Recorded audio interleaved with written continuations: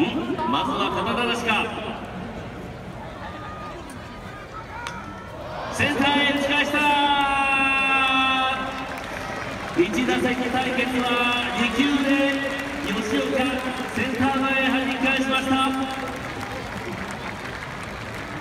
皆さん大きな拍手お願いします。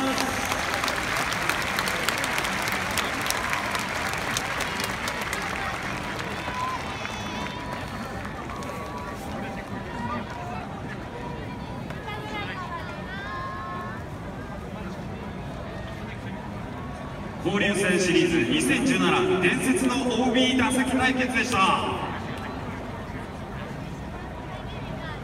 続きまして本日の火星パシフィック航空香港大会の開催を記念し両チームへ激励の花束が贈られます。送りますのは火星パシフィック航空のキャビン